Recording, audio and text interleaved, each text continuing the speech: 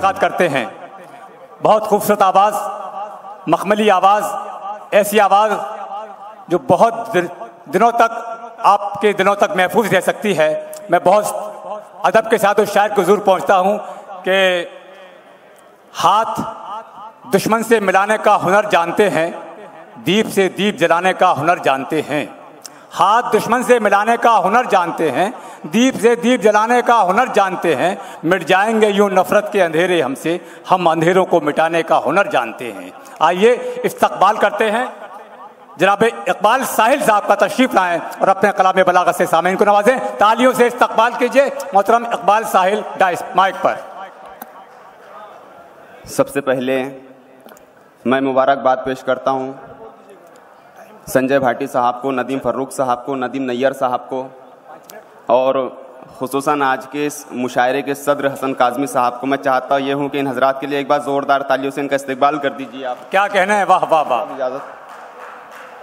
एक मतलब एक शेर से अपनी बात शुरू करता हूँ कि जी शायद। ज़माने की हजरात चूँकि आज का ये मुशायरा अय वतन तेरे लिए ये उनवान पे मुनद है।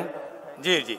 मैं पेश करता हूँ कि जमाने की निगाहों से छुपाकर चूम लेता हूँ। जमाने की निगाहों से छुपाकर चूम लेता हूँ। वतन की मिट्टी आँखों से लगाकर चूम लेता हूँ। क्या कहने जमाने की निगाहों से छुपाकर अच्छा चूम लेता हूँ। वतन की मिट्टी आँखों से लगाकर चूम लेता हूँ। मोहब्बत इतनी करता हूँ कि कागज़ पर अकेले में मैं हिंदुस्तान का नक्शा बनाकर चूम लेता हूँ। मोहब्बत इतनी करता हूँ। बहुत बहुत शुक्रिया। दोस्तों फिर चार मिसरे बतौर ख़ास।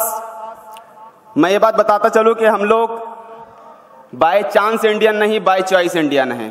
मैं शेर पेश करता हूँ कि वैसे जो ठान ले मेरे बड़े भाई सतलज भाई देखिएगा कि वैसे जो ठान ले तो मिसाइल भी बना ले। वैसे जो ठान ले तो मिसाइल भी बना ले लेकिन शिकम के वास्ते कंगा बनाते हैं। वाह। वैसे जो ठान ले तो मिसाइल भी बना ले लेकिन शिकम के वास्ते कंगा बनाते हैं।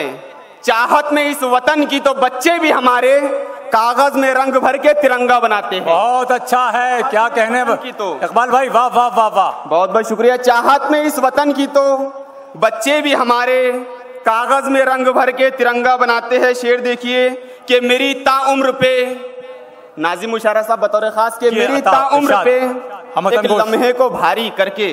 वाह। ज़िंदगी हार गई रात गुजारी करके। क्या कहने?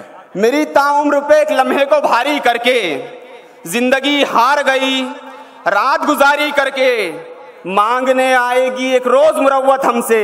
हमने छोड़ा है ये दुनिया को भिकारी करके। बहुत अच्छे हैं क्या कहने? इकबाल भाई वाह वाह वाह वाह। मैंने अच्छा शेर पढ़ा हो तो मुझे तालियों से इजाज़त दीजिए अच्छा से इस्तकबाल कर दीजिए।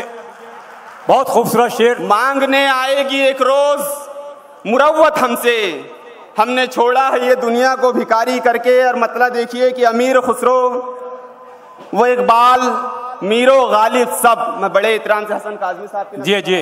इताओ, इताओ। अमीर खुसरो व इकबाल मीरो गालिब सब थे पासबान अदब उनकी शान ज़िंदा है। बहुत अच्छा वाह वाह वाह अमीर खुसरो व इकबाल मीरो गालिब सब क्या कहने थे पासबान अदब उनकी शान ज़िंदा है।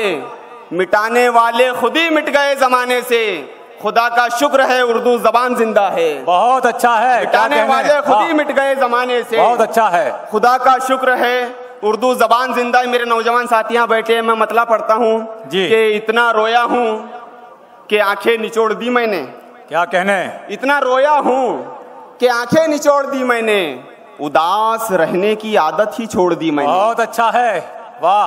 और ये भी शेर देखिएगा कि अब तक तो एक मतलब दो तीन शेर फिर उसके बाद छोटी सी नज्म फिर इजाज़त। मतलब देखिएगा बतौर खास स्टेज से तवज्जो का तालिब कि अब तक तो जैसे तैसे संभाले तुम्हारे खत।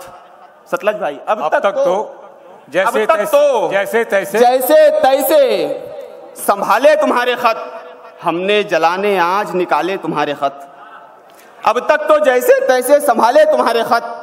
हमने जलाने आज निकाले तुम्हारे खत हमने जलाने आज निकाले तुम्हारे खत। सौ बार चूमता रहा एक एक लफ्ज को फिर उसके बाद आग में डाले तुम्हारे खत। बहुत अच्छा है इकबाल भाई क्या कहने जिंदाबाद जिंदाबाद।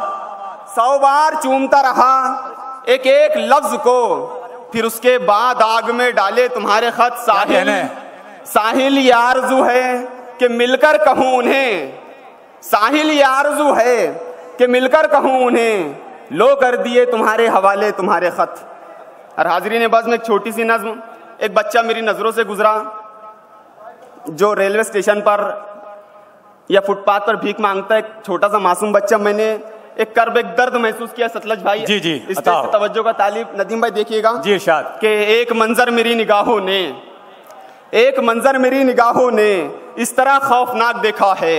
नंगे पाओ सड़क किनारे पर माँगता था अजीब बच्चा था। धूल बालों में आँख में आँसू। वो भी क्या बदनसीब बच्चा था? करके उसको हवाले किस्मत के जाने अब वो किधर गए होंगे? देखकर उसको यूँ लगा जैसे उसके माँ बाप मर गए होंगे। फूल गुर्बत के इतने सस्ते हैं बच्चे खाने को भी तरसते हैं। देख कर रूह भी लरसती है, भूख आँखों से जब झलकती है। तुमने पोशाक में अमीरों की, कीमती हीरे तो जड़े देखे, भूख से चीखते हुए बच्चे, मैंने फुटपाथ पर पड़े देखे, ये बहुत बदनसीब होती है हाँ गरीबी अजीब होती है। बहुत अच्छा है, क्या कहने? जिंदाबाद जिंदाबाद। होती है। हाँ गरीबी अजीब होती है। बच्चा किस्मत को कोसता होगा देखकर यही सोचता होगा नाज बच्चों के सब उठाते हैं उनको सीने से भी लगाते हैं उनके जैसा तो मैं भी बच्चा हूँ मुझको धुतकार कर भगाते हैं क्यों हिकारत से देखते हो तुम? हूँ तो इंसान जुदा नहीं हूँ ना फ़र्क इतना है मुझमें और उनमें मैं तुम्हारा सगा नहीं हूँ ना सबको यकसा बना दे या अल्लाह या गरीबी मिटा दे या अल्लाह। बहुत अच्छा है क्या कहने इकबाल साहिल साहिब? मैं आपको मुबारकबाद पेश करता हूँ कि आपने एक बहुत अच्छी गज़ल, एक अच्छी नज़म हम तक पेश की। आइए, अगले